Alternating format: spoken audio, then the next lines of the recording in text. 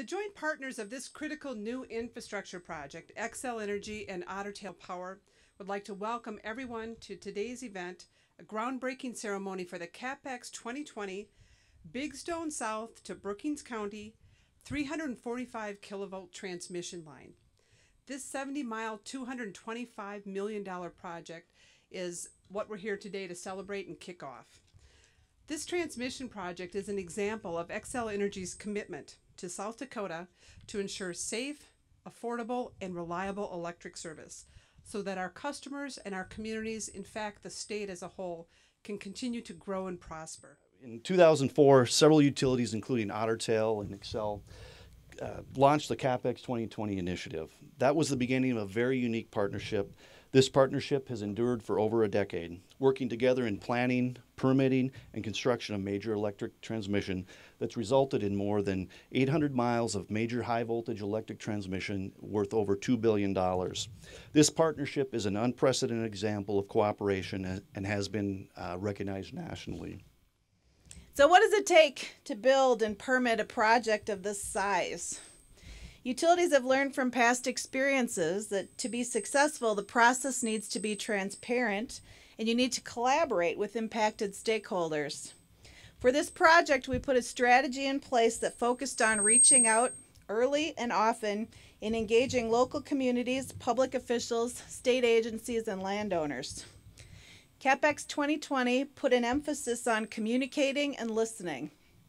We hosted open houses, we made presentations to local officials and we sent out thousands of direct mail pieces to keep people informed. It's been mentioned, but to me, this is so crucial.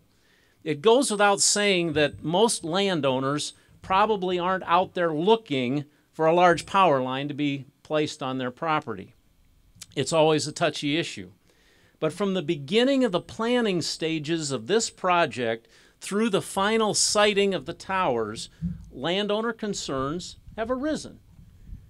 To the great credit of Xcel and Otter Tail, my observation from my viewpoint at the Commission is that these two companies have gone out of their way to work very hard to address those concerns and alleviate any issues that might be out there. It's apparent to me that these companies understand the importance of the long term partnership that they are forming with the farmers and ranchers that will host these towers on their projects. And for that most important and diligent work to the companies, I say thank you. I'd like to commend Xcel and Otter Tail uh, for your cooperation and foresight and your undertaking this project because it is good for South Dakota and good for electric power users all over the Midwest. This 70 miles will run right through the Buffalo Ridge, uh, one of the richest uh, wind resources in America, certainly one of the best resources in South Dakota. And there would be many more wind projects in South Dakota today if there was transmission capacity to carry them to consumers, but there aren't. And so that's probably the biggest uh, obstruction to additional wind capacity addition in South Dakota is the inability to economically transmit that power. We're going to be an attractive place to do business because one of the things that businesses look for when they're when they're going through the, the process, the analysis of trying to decide where they want to locate, energy, affordable, reliable energy is an enormous competitive edge. And that's why in, in the investments like the one that are being, that's being made today is so important. Investing in our infrastructure to make it possible to move that energy to places where it's needed. This is 70 miles of over 800 miles in transmission investment that's going to occur as a result of CapX2020. And so uh, this is exactly what we need to be doing and I want to thank uh, both the power companies for partnering up on this great venture. When I was in the legislature, I carried legislation that would help uh, establish some wind project entities here in South Dakota. And our biggest hangup throughout the years, as we've seen those uh, projects develop and be built and, and benefit our renewable energy supply, is that we need a transmission. We need a transmission to get them to where the demands were and uh, this is going to help us complete it. It's been fun to follow the project as it's been built throughout Minnesota to see that it does end up on budget and on time has been great. I've read the stories and even how this project was first dreamed about was with a handshake in a hallway. This wind, this transmission is going to benefit this region by more than just transmission alone. It's going to be the catalyst for wind development.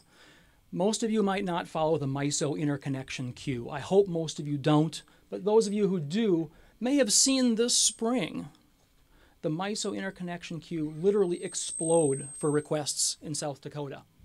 Why?